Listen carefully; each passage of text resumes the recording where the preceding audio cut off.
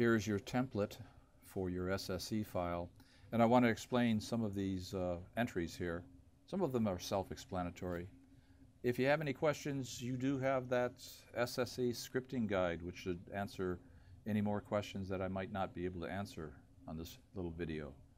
First off, you got to name your object. And my first planet I've called Klaatu. Notice that's in quotes. Oh, there are different types of quotes. For some reason, the Macs sometimes put in what they call smart quotes. You know, the little curly, uh, curly quotation marks, which screws everything up in the text. You have to make sure these are straight up and down, regular old quotes.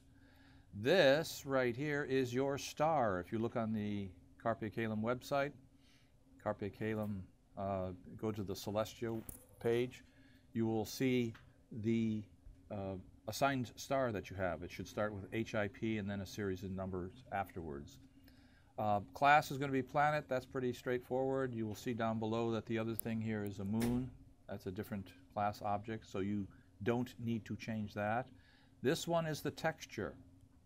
I invite you once again to go to the Celestia page on the Carpe Calum site to see if you want to change the texture. This is the picture that you paint on the planet. The radius in kilometers, you need to figure out what that is. You might want to do a planet like Saturn, so find out what Saturn's radius is. Or your planet might be like Mercury, so find out what Mercury's radius is. You have to do that re research. If you want your planet to have an atmosphere, and let's have this first planet have an atmosphere, this height is how far above the surface the atmosphere goes. 126 kilometers up, that's a good number. You might want to change that a little bit just for fun. The cloud map, also on Carpe Calum, there are pictures of clouds. You can change the way the clouds look.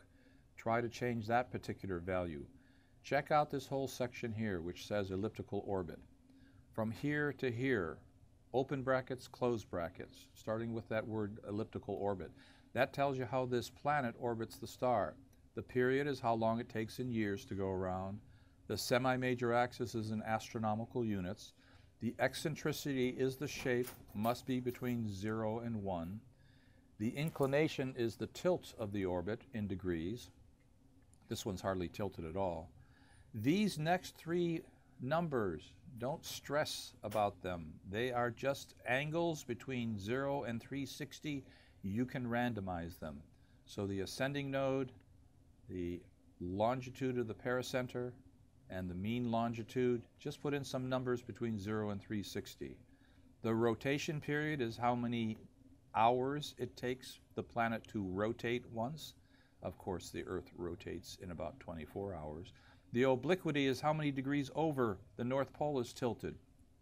For Earth, that's 23 and a half degrees, right? The albedo is how bright the planet is, a number between 0 and 1. 0.67 is a planet like Earth that has some clouds and has some continents. A very dark planet might have an albedo of only 0.05 or something. Let's take a look at this moon, simply the moon. I'm going to call my moon Gort and see here that Gort orbits the planet Klaatu and Klaatu orbits the star HIP 697671. You've got to put your own star there. This is a moon, so class means moon. The texture is how you want that moon to look. Uh, that's the graphics file you paint onto the surface. Once again, the radius is in kilometers. Let's take a look at the orbit of this moon. Here are the things I'd like you to try to change. For moons, the period is in days. So this moon takes 4.5 days to orbit the planet. The semi-major axis is in kilometers. So this moon orbits 527,000 kilometers away from the planet. You should know that our own moon or, uh, orbits around the Earth about 386,000 kilometers away.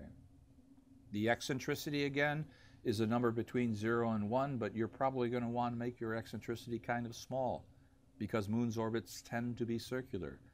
The inclination is, once again, the tilt of the orbit a rather small number. Can be between 0 and 10, maybe, something like that. The mean anomaly, don't worry about this at the present time, but that's going to be a number between 0 and 360, a random angle. And again, the albedo, how bright the moon is.